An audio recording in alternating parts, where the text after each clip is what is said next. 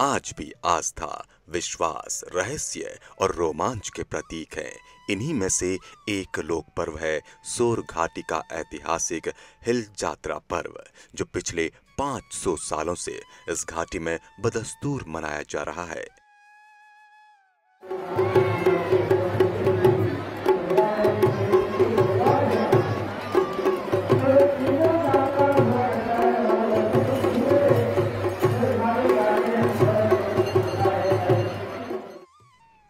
समय के साथ साथ इसका स्वरूप भी काफ़ी कुछ बदल गया है।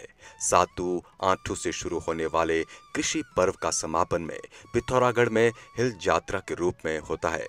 इस अनोखे पर्व में बैल, हिरण, लखिया, भूत जैसे दर्जनों पात्र मुखौटों के साथ मैदान में उतरकर देखने वालों को रोमांचित कर देते हैं।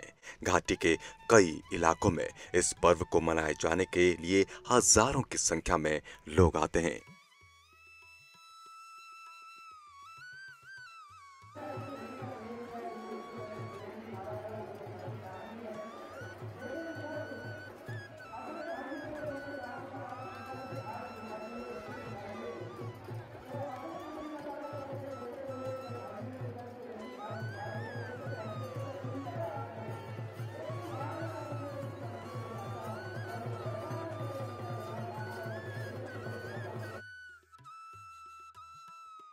हिल जात्रा में बैल, हिरण, चीतल और धान रोपती महिलाएँ यहाँ के कृषि जीवन के साथ ही पशु प्रेम को भी दर्शाती हैं।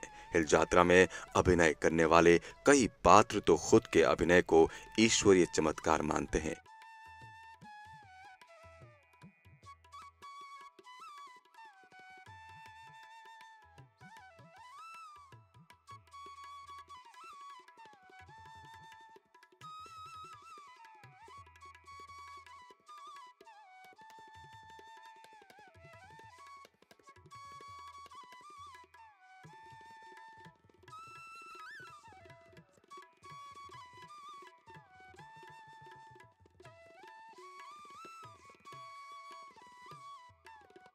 ऐसी ही ऐतिहासिक रोमांचक किस्से कहानियों के लिए सब्सक्राइब करें पोस्टमैन इंडिया